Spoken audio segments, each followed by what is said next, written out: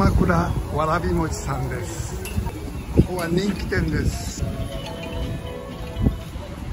こんにちはこちらコーヒーミルクですね。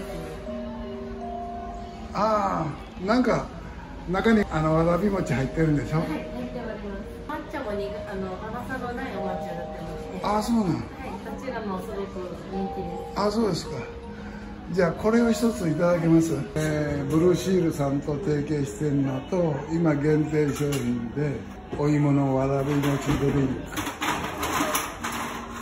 クで僕はコーヒーミルクの S サイズを注文しました。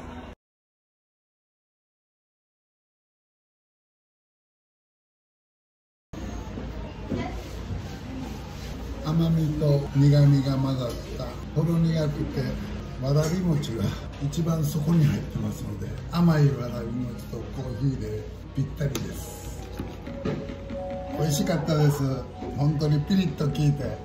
じゃあありがとうございました。ありがとう。